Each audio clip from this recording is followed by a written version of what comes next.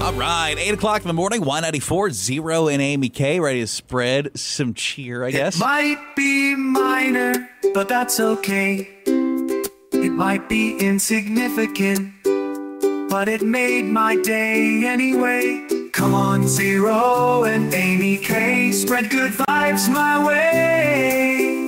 It's my little victory with the Playhouse, hooray!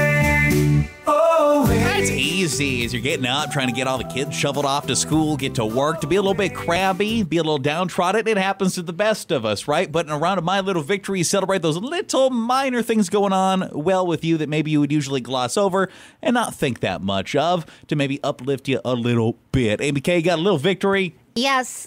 And I actually have you to thank a little bit. So you signed me up for a fantasy football league, I did do that, yeah. Even though you are not in the league. I'm not, no. Steven has really taken over my league, but that doesn't matter. It's still my name on the league and it's all our coworkers. And do you know who I've been playing against this past week? I have no idea, no. Dan Cash, our boss. Did you beat him? I beat him so good. The final score, I had 117 points and he had 75. So I'm feeling good. The first couple weeks, they're pretty bad for me. My team was not doing well. But just maybe last week, two weeks ago, three weeks ago, I don't know when it started. I started doing a little bit better, picking back up. My team's my team's doing good. Well, to be fair, so the registration was just like a whiteboard in the break room. I figured you'd see your name on there, be like, "Why is this here?" and erase it. I didn't think you'd actually participate in the league. Well, you wrote my name and I wrote a note next to it and I said, What? And I signed it, Amy K. And I think it was pretty clear that I didn't sign up, but I still was a part of the league. I gave I did give the 20 bucks, so I guess that's my own fault. But You're in it now, man. I hope I win. Wouldn't that be something? If I won. Yeah, you buying coffee or something for the the show? You know, as in you and me. Listen, win. you signed me up. yeah, you're welcome. You have done no help for this team. I, I put your name on the list. I guess. Yeah, so that's like that's half the battle right there. I originally was not going to sign up because Joel D asked me to. And I said, yeah, Steven and I would like to join. And we were both going to have our own team. And Joel was so rude. He said, employees only. well, that's funny considering you know he's ghost puppeteering your team in Well, the I know. anyway. and then yeah. once my team got up, anyways, I told Steven and I said, you could be in charge of it. He didn't want you guys to have two teams in it. Isn't that so rude that he said employees only? Huh.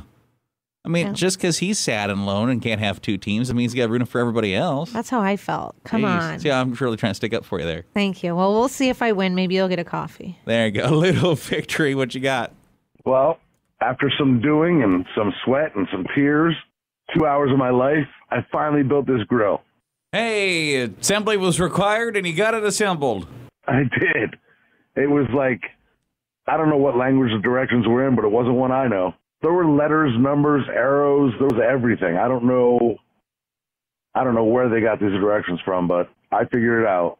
And hopefully I'm making mistakes later. I feel that way about in English directions half the time. It's just, I can't follow them. I don't understand what he was saying. Arrows? What? Uh, I don't know. Is that what he was talking about setting it up? Put this piece into this piece. Yeah, I have no clue what he was talking about. We've seen some little victories. Yeah, someone said I started walking, kind of jogging every night, and I'm starting to eat better. Now that it is getting colder, I'm thinking about getting a treadmill. And someone else said the owner of the place I work said I'm doing a good job. And this is the first time anyone I've worked with has ever said that. Yo, that's, you know what? Good for you. That's a big victory. right Major there. victory. Your little victory today. What you got?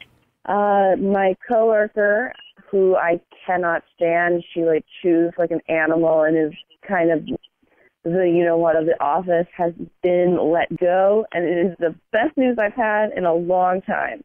I mean, I feel weird celebrating somebody getting fired, but I'm glad that your life is better.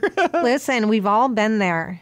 I mean, if they're a real witch of a human Yeah, being, sure. come on. Yeah, I mean, but was it just that they had bad habits as far as like chewing with their mouth open and stuff? Because isn't that what was her example was? Listen, that is gross. I had to change offices because I could hear a guy munching on his potato chips. But if he was leaving with a cardboard box full of potato chips, you would have felt a little bit bad for him. if that's why he got fired because I complained about him eating. yeah, I would feel terrible. But let me tell you, I'm sure that guy was doing a terrible job. Man, how loosey goosey has our HR department got if they're like, listen, Amy's complained about you chomping your chips. Everyone would be fired then. Okay, I complain about everyone. Time for you to get out of here, coffee slurper. but that's me, and I'm sad now. Your little victory got one of these. 237 at you call or text Miles Smith Stargazing Y94. It's 805. Turn around uh, my little victory. Just something good that's going on with you, but if it's a little minor, that is okay. Call or text 237. It's and lots of good victories getting texted in. As someone said, about three and a half weeks until I finally get to marry my significant other. We've been together for almost 12 years, so I'm not stressed. Everything is all organized. And someone else said, I have a client of mine who's going to bring me some chips and fresh made salsa this afternoon. I'm really excited about it. And someone else said, two weeks from today, I'm going to Las Vegas. Hey, that'll be fun. I'm jealous. Actually, maybe Vegas. I don't know how Vegas would be where I go. Uh, you know, you probably wouldn't have a lot of fun right now. Yeah. You know, the last time I went to Las Vegas, too, I was in eighth grade. so you've really actually never experienced, Experienced Las. Vegas. No. Oh, it's a fun place. That's one of my favorites. I think I might have a love it, gambling problem. I think I would love it. Oh, you really would. You really would. Maybe for completely different reasons, though, because you'd be like blackout, and I'd be like, "Oh, I'll take your money and gamble for you." you get you a little victory. I found the perfect costume for my dog for Halloween. What is that perfect costume? So, um, this is already tailored to a similar dog, and that dog is my neighbor's dog and passed away. It's a legit, like, head to toe Indiana Jones costume with, like, the whip and the gun and the hat. It's meant for a bulldog. It, like, fits a bulldog. Huh? So the neighbor had a bulldog, and they dressed him as Indiana Jones, and now you've inherited that, and also have a bulldog. Is that what's going on? I think so. I don't know. As long as it's going to wear the costume, good job. Yeah, I like a good, relevant, super topical costume like Indiana Jones. Do you think that's relevant? no, I was being sarcastic. Yeah, okay. That's Wait, cool though. didn't. Who was the guy? Who is Indiana Jones? Harrison Ford. Did he recently do one or did he do no? Uh, you know what? It's just a couple of years ago they did one. It was one where they like de-aged him for some of the movie and Yeah. stuff. I haven't seen that one yet. I stopped watching after about the time Shia LaBeouf was in the movies. I don't think I've seen any of them. They are they're solid movies. They just it's really spaced out. They've gone on for a long Too time. much. It went from like you know young Harrison Ford to like oh my god how you still doing movies Harrison Ford? Yeah. It's like eh. you see some more little victories. Yeah, someone said, I have a seventh month old daughter. That's it. That's my victory. And someone else said, My little victory is I only have a four day work week and spending the weekend in the haunted Palmer House Hotel in a, is it Sioux Center? S A U K? I think so. Yeah. Sioux Center for Halloween Oh, weekend? Sauk Centre. Sauk Centre. Sauk Centre. Okay. Um, you're willingly staying at a haunted hotel? That's interesting. I didn't know there was a haunted hotel in Sauk Centre. That's cool. You've been to this place? I drive past to get a Minneapolis. Yeah. I need all the details. This sounds terrifying. Little victory. Uh, I just got the great news that my brother is coming home from the army. He's going to be with us for the holidays this year. I'm super psyched. Oh, there you go. That's exciting. Congratulations. Yeah, that will be so exciting to have him back for the holidays. Little victory. Oh my goodness, I'm so proud of myself. So I was in there washing dishes and my ring slipped off and fell into the drain. And so, ah, my husband's already gone to work. I knew, it's, you know, he's gonna, ah. So guess what I did? Uh, I went and got my little shop back, you know, because we've had some water, you know, in the basement and stuff. And I sucked it out myself. I got the ring back. And I mean, you know, I had to get it out the machine or whatever. It's a win for me because I would have probably had cost me 200 bucks to like call someone to do it. I am kind of curious, like, what other gunk came flying out of there where you're like, oh my Ew. gosh, how long has this been floating around in our pipes? Ew, I don't even want to think about that. Chunks of food I don't stop. I months will ago. throw up. Blur. Some more little victories. Yeah, someone said me and my bestie have a mommy's day on Friday and into Saturday. Um, someone else said, I've been dating my boyfriend for over six months now, and when I look at him, I still get butterflies. Aw. And someone else said, work and life are both good, and I'm just spending my energy maintaining it and appreciating it right now. And little victory got somewhere like, you know what? It might not be huge, but this is great. So my good news is I won the Halloween costume contest at my office, and I went dressed as Kim Jong Un, and I won.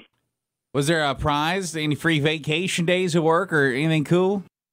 We're talking about like a gift card for Starbucks, which is great. You know, I'm there all the time, so Mhm. it comes in handy, and um, just you know the honor of the uh, of the award itself.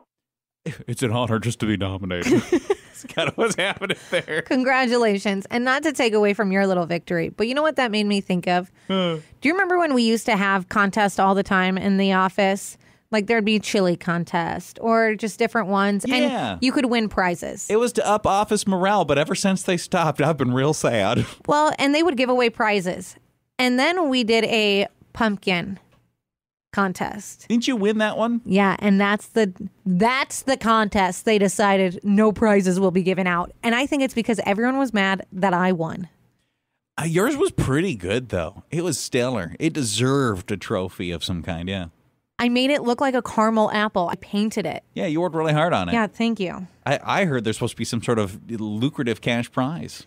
Yeah, there used to be prizes for all the other contests, and then the one contest I win, they decided no prizes this time. Maybe you recommend to the old boss man, hey, it's time we bring it back and, and just re- get the do the same thing again. No, It's, you're dead to him now? I will not be a part of any office morale. Yeah. It brought down my morale. don't don't worry. Nobody accused you of bringing it up around here. Here's what's coming up next